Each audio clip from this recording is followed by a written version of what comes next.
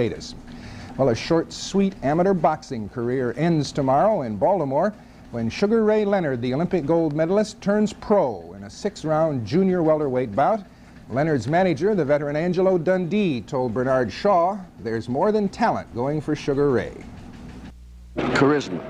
is real. Uh, the people react to him. I haven't seen a young kid like this draw this many people every day, uh, realistically, in uh, all the time I've been in boxing. And I think it's fantastic the way the fans have taken to him. Delvin, mix it up, Sugar. Not even Muhammad Ali, whom Dundee has been training all these years, drew a thousand or so people to his workouts before he made his pro debut. But that's what Sugar Ray Leonard's been doing in Baltimore every day. Leonard hasn't fought in six months, but the impression he left as he battled his way to the Olympic gold medal in the light welterweight division remains. People also remember that he said in Montreal he would never turn pro. This was an obligation I had owed to my family because my mother and father worked so hard to support the family. I want to become the world champion, but mainly help my family out. Has Muhammad Ali meant anything to you? Well, mentally, yes, because I feel that Ali has uh, shown everyone that whatever he says he wants to do, he can do it if he puts his mind and body to work. He's shown me that you can achieve any goal in life if you set your mind for it. Tomorrow, Leonard will fight professionally for the first time, a six-rounder against Luis the Bull Vega. And afterwards, the man from Palmer Park, Maryland will have a better idea of what his future holds. Bernard Shaw, CBS News, Baltimore.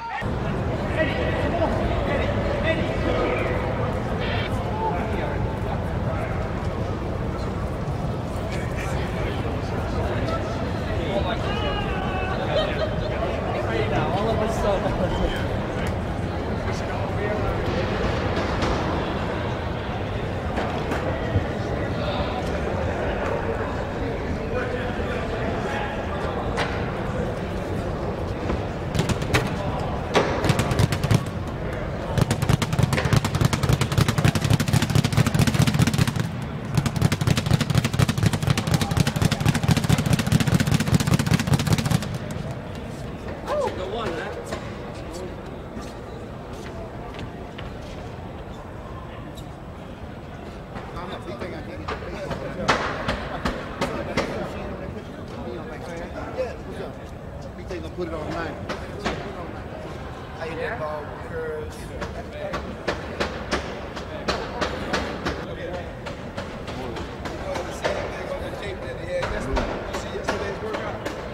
Is fast, Jinx? Yeah, 90 mile an hour.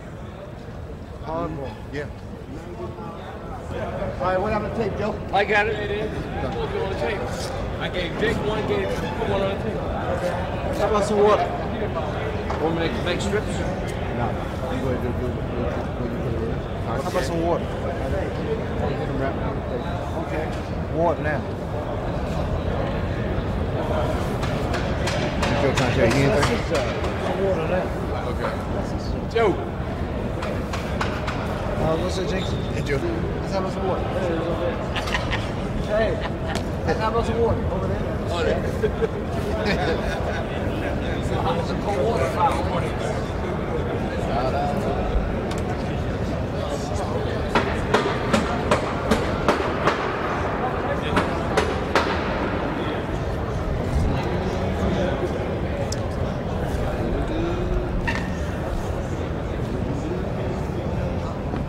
It was a little fun, but too much stuff on it. I want to get in the. Oh, man. See how they close them pools? Right on the table. They kept them. That's what I know eh? that. That's why. That's why, that's why catching it.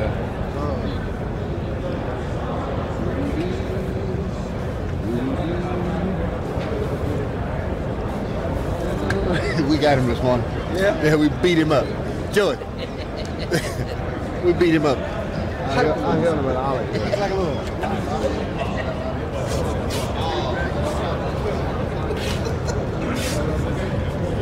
You just scared of that guy.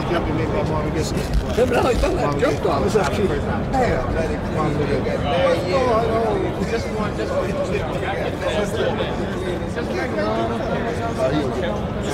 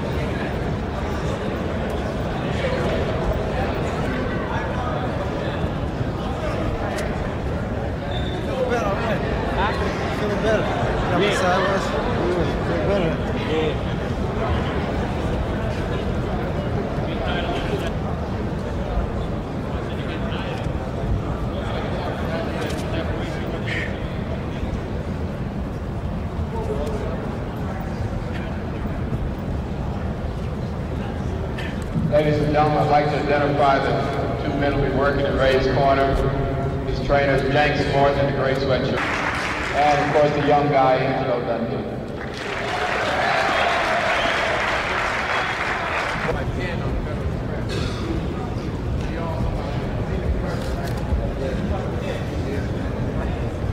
That's good kid. Joy.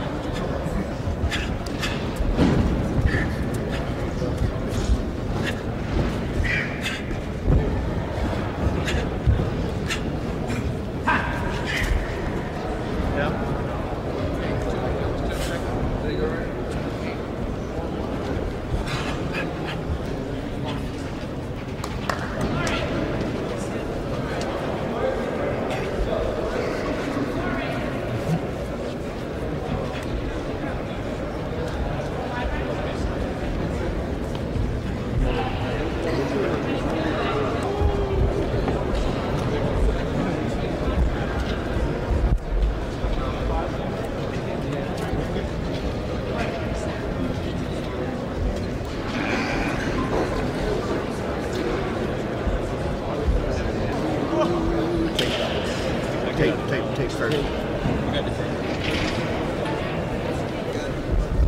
Yeah, I think, you it's more?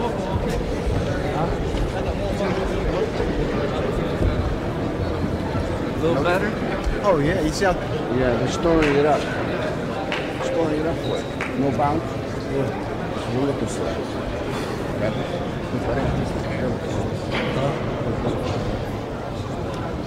Oh, today we're gonna have mouse stew. We're gonna have mouse stew.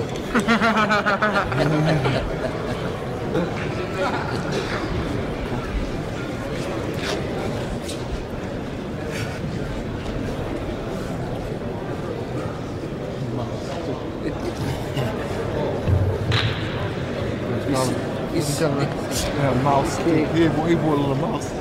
Oh, really? Everybody's scared of it. Yeah. So I said, I don't know. I'm going to ask. Yeah, gonna have a heart attack.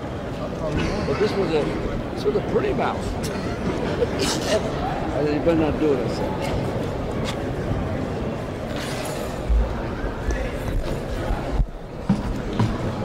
I know. All right. You gonna nail me. Yeah. To do. It. Kind of here.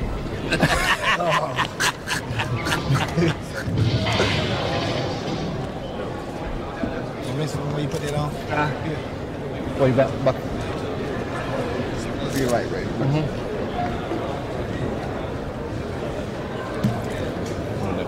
That's what I'm going to give you. I don't want to give you this.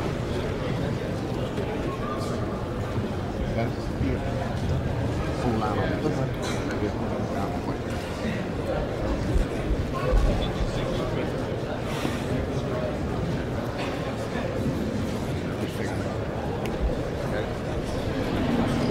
it twice, Jerry, so it'll hold. Yeah. Know, loop it twice, so it won't slip. Okay, like Ain't going to now, buddy. Okay.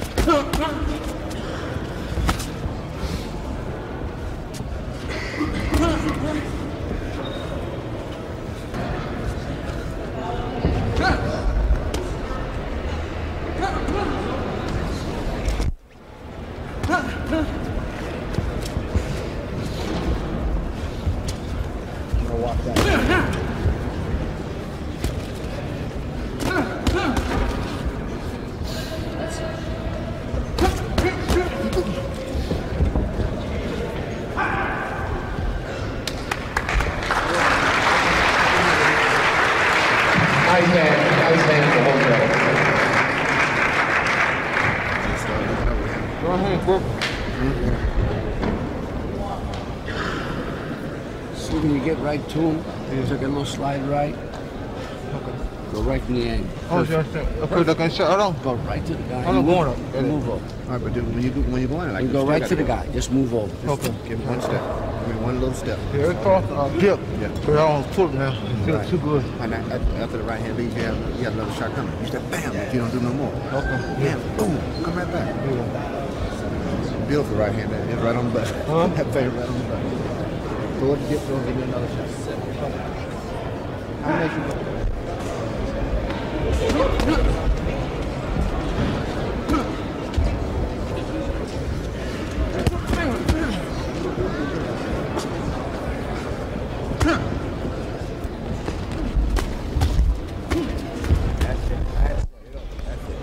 You gotta do is roll. Roll up.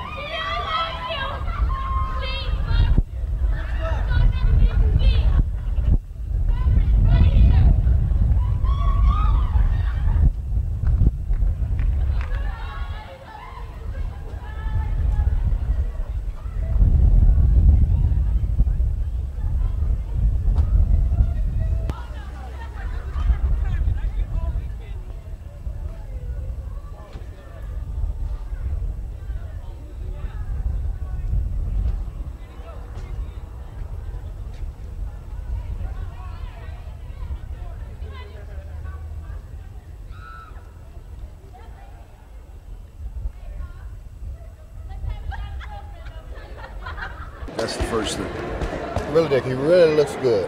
He's looking much stronger and more smarter in the ring. Whereas before, maybe he would take a punch, now he's slipping a punch to give some more out. But he really looks good. Does it feel like he's never been away? Well, he- it was there. You could see that he had been away for a while when we first started working out in January. But now that he's coming for a few weeks, you know, had time to really adjust, readjust himself. He got used to getting punched again. Really, that's the toughest job, getting back uh, hit again after two year layoff. But he's really come a long ways. He's really sharp. That's why we're cutting him short. Are you worried about him at all? Not at all. Yeah, um, matter of fact, I really pitied the first couple of guys that faced a Sugar Ray Leonard after come back like this. Because it really is a big test for him also. If you had to pick one reason why he's back fighting, what's the one main reason? This age, 27 years old. What's, what's 27 year old do when you tell me you can get up in the morning and afternoon? You wouldn't mind that, would you? No, I wouldn't. You wouldn't either. But uh, you know, it's different in, in the style. Uh, people nowadays, you know, he is 27 years old and nothing to do, so he come back and do what he's been doing all his life. I always said it, uh, the earlier they start, the longer they last. That's why when a kid they should start boxing real early, it's tough for them to come out early. They retire and come back, retire and come back. But you take a guy like a Kenny Norton, whereas he started late, he can lead a game and forget about it because he didn't grow up with it. I'm Ali and Skeeter McClure. You know, Skeeter McClure is a psychologist now, and he's got his office about 10 miles from here. No kidding. He's, he's a PhD. I'm all set. When Ray first started thinking about coming back, did you give him any advice? I was the last guy that thought he would come back, last guy in the world that thought he would come back, because I felt he was doing so well at what he was doing with the commentary and the, you know, the advertising, the everything he was doing was so great. Uh, so I figured it would fill the void. But I learned an object lesson in life: nothing takes the place of being the best at what you do. When he did decide, did you advise against it at all? Oh no, I I don't think it, uh, I don't think have, a human being has a right to tell another human being what to do with his life. Uh, to me, the kid wants to do it, and he's doing it for Sugar Ray Leonard, nobody else.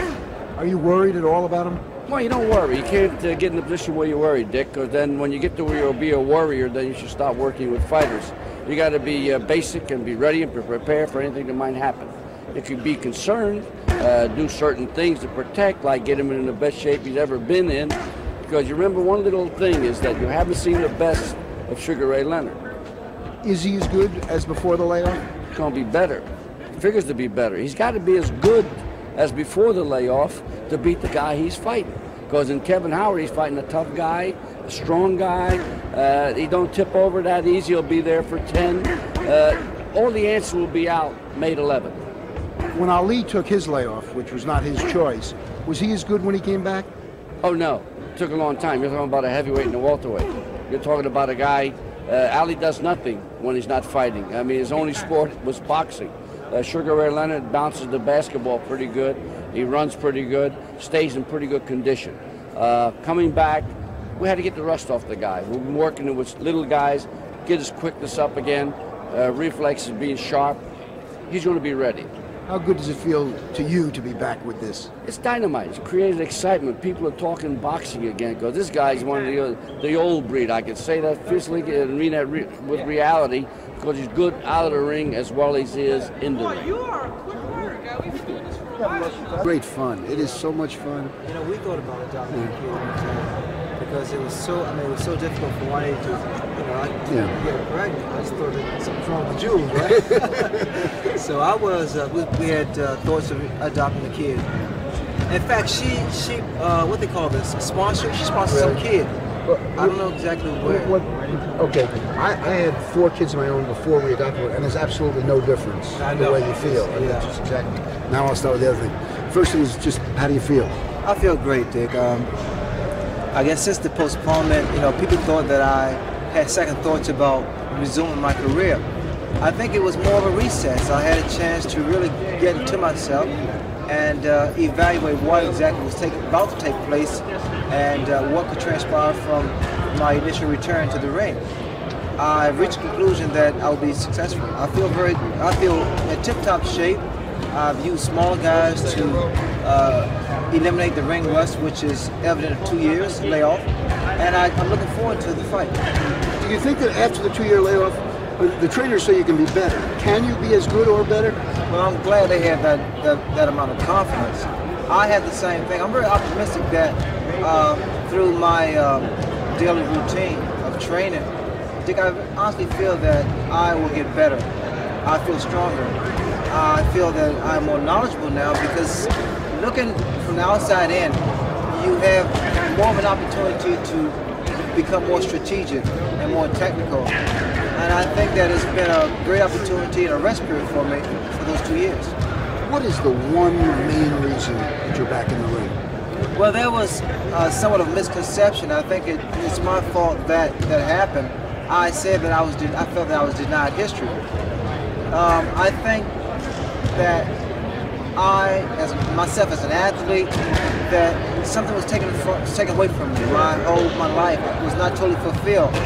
I was knocked down by an injury, Dick, and I couldn't just con- continue to live with that. If all athletes had retired from injuries, we wouldn't have sports. And I felt that I reached the conclusion that I my injury was correct. I have a second chance to resume what I love, what has made me the individual that I am today. So I don't think people are being fair of trying to knock me for what I'm doing. I thank them for their concern and for them looking out for me or think they're looking out for me. But I'm doing something that I love and I'm taking every precautionary measure to minimize risk factors. Is it also the thing that you're doing what you do better than anything else? Well, I can't honestly say that. I think that boxing uh, has given me uh, quite naturally more exposure, more recognition, and better funds than any other profession I've been in, involved in.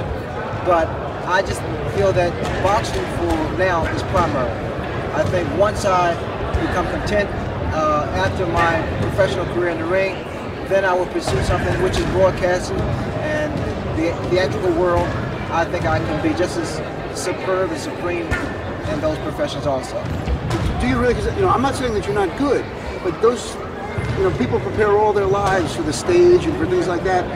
And this thing, you're the absolute best at. Do you really think you can be the absolute best at those also? I watch you all the time. I think I'll be better than you. oh, that's easy. I'm talking about the tough ones. Well, thing is, you have to apply yourself, and I understand there's a, a great deal of pressure because of, of knowing the technical ends of the industry. Uh, but what I'm saying, I want to do what I do best now because I'm young enough to do it. I'm 27. I'm taking full advantage of my youth. Um, and as time, you know, as time goes by, then I will continue to pursue uh, the other ends of, uh, of a different career.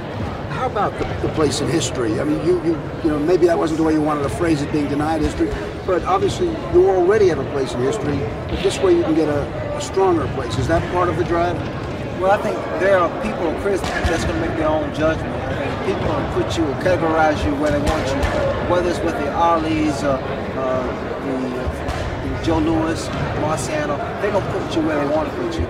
Uh, my major uh, concern and, and, reason is uh, resume my career and finishing, finishing what I want to finish. It's not financial at all, is it? No, I wouldn't you know, people, they say, well, Ray, you have all the money in the world, and you fight for the money? I said, no. If I was fighting for the money, I would fight um, uh, Hagler. Why make a million dollars or two million dollars when I can make 30, 40, 50 million? It doesn't make any sense.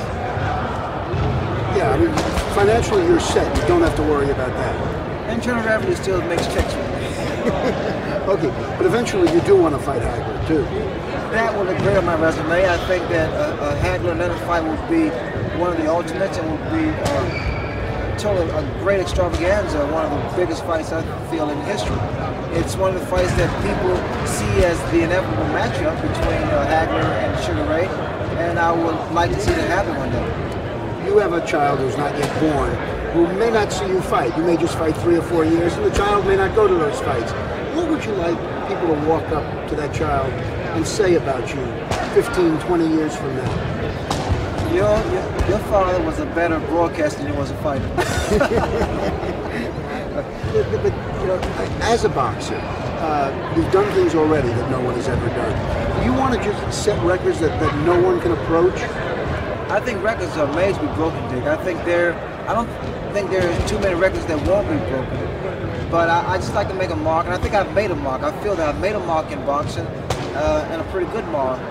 The unification of the welterweight crown um, to win a second title, junior middleweight. I think I've done pretty well, but um, it's all, there's always room for improvement, and there's always room to create even a much more sturdier foundation. The first time you got hit hard since you came back, how did that feel? It didn't feel too good. You know, women used to ask me all the time. They said, "Well, sure, do you have to get used to getting hit in the face?" And I, I it was so funny, I would laugh. But in all honesty, you really have to get used to getting hit in the face.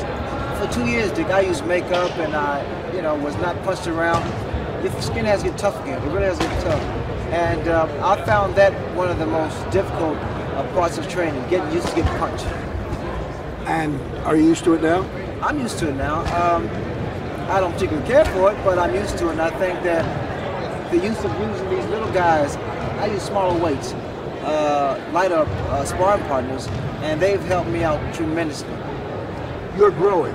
You're getting bigger up here. Will you be a full-fledged middleweight within a year?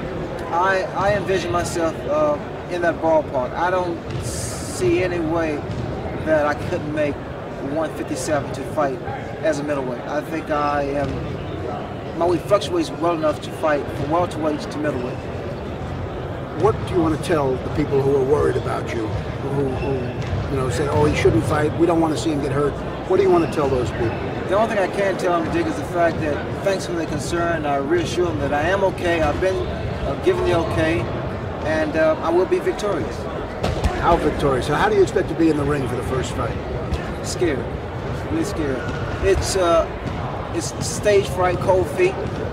It's it's as though when an entertainer makes his debut, I anticipate these these feelings, these symptoms, and uh, I've been very, very uh, composed throughout my years in the ring. But I'm very, I'm interested to see how it reacts. When will the butterflies go away? First punch. that you throw or catch? Hopefully when I throw. okay, Jake, Thank you. Much. Good luck. Thanks, man. I'm going to try to get back up to the fight, but if not, I will you home and watch. Okay, Jake, thanks, buddy. Get upstairs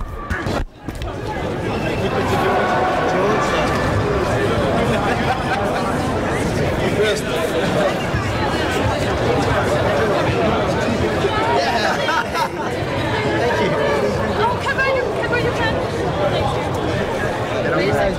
Oh, hi. It's Right, to the right, to the right, to the right. All right, let's go. We're gonna do an interview, folks. We're gonna do one more interview. Come on. Excuse us, please. Excuse us, please. Thank you. Hey, Mike, shut him up. This one will go all the way. And we're going to have to have a decision, and then Leonard may have pulled it out with a 15th round. Leonard bombing away. Hmm. June 20th, 1980, Sugar Ray Leonard going toe-to-toe with Roberto Duran for Leonard's WBC welterweight title. Duran won the fight and the title in a 15-round decision. Five months later came the rematch with its unforgettable eighth round, Leonard getting his title back when Duran quit, saying, no mas, no mas, no more. But there will be one more fight, number three, coming up in November. And Roberto Duran and Sugar Ray Leonard join us this morning with Louis DeCubas to help us uh, do some translating here. Good morning. I first want to know from uh, uh, Mr. Duran, no mas nine years ago. Why go back in the ring with this guy? Ah, Roberto, después de no más, hace nueve, nueve años, ¿por qué regresar al ring otra vez con Sugar Ray Leonard? Porque yo siempre tuve la esperanza de que él me diera la oportunidad a mí. He always hoped that Sugar Ray Leonard would give him the, the opportunity again. Has he been haunted by no mas? ¿Tú crees que eso te ha dañado a ti, el no más? Puede ser. Maybe it has. Maybe.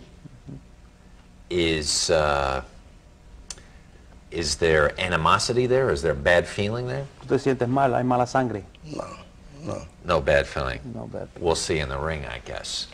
Why? Why this fight? Why Duran? Well, if, uh, for a little historical perspective, Harry, Duran was the only guy that beat me throughout my career. And then the second encounter, uh, I just felt I was deprived of a great accomplishment because of the bizarre ending. And uh, I've always thought about, you know, fighting Duran again. But the perception of the public, because of the ending, was the fact that it was only a setup for a third encounter. But, um, you know, thank God Duran has come back and fought magnificently and fought an impressive win over Iran Barkley and uh, Mhm. redeemed himself. Are you a little afraid of that? I mean, Iran Barkley is a real fighter. This this this could be this could be serious world class danger here. Well, it will be. And in fact, the matter is, uh, you know, here's an opportunity for both of us to once again get back into the ring to prove who's the best. hmm The uh, what is what does this fight mean to Roberto? ¿Qué significa esta pelea para ti, Roberto? Significa mucho para mí. It means a lot to him. It means a lot to him. Una pelea que he esperado toda la vida. He's waited all his life, the last nine years for this fight. 38 years old though. Is he as good as he was nine years ago? Con 38 años, ¿tú crees que sea tan bueno como antes? Eh, bueno, ya lo veremos. We sure Ya will see. we'll see. The uh, because it it would seem to me it has to be in here someplace. Mm-hmm. If if at 38 years old you're going to go back in the ring with uh, with Sugar Ray. Él piensa que a los 38 años tiene que salir de aquí, del estómago, tiene que salir de adentro. ¿Salir qué? Tú sabes, la- las ganas de volver a pelear otra vez. Hace rato. dile. Says, yeah, a long time. He's, he's waited, Yeah. so he's, he's, he's down to get back in there with him. Can people? The fight game has gotten so weird. There are so many divisions. There are who knows? I mean, everybody walking around the street has some kind of crown uh, from some division of some some boxing federation. Can people take this seriously, or is this uh, an, an old timers fight? Well, I don't particularly agree with the old timers fight, Harry, but I honestly believe from a, a marketable and credibility standpoint, the fact that Roberto Duran is Roberto Duran and I'm Ray Leonard, I think it's a matter of personalities. It goes beyond being world champions. I think that Duran had such an enormous following, and I had the same thing, mm-hmm. which was indicative with the Tommy Hearns fight, Lalonde fight. In fact, this fight here is a crossroad for me because of my last performance. I wasn't particularly pleased with that performance. Tommy Hearns fought a magnificent fight, but I don't know who the guy was that he was fighting.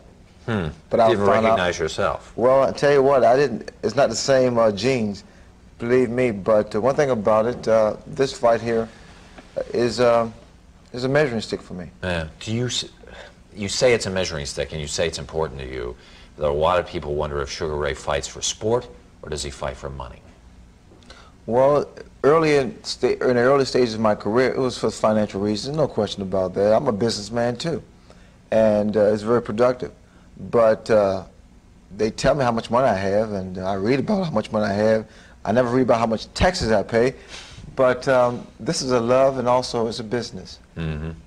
It's both. It's both. Sugar Ray, Roberto, thank you. Louis DeCubas, thanks for helping us out this morning. Good luck to you, and uh, sometime in November, right? Yes.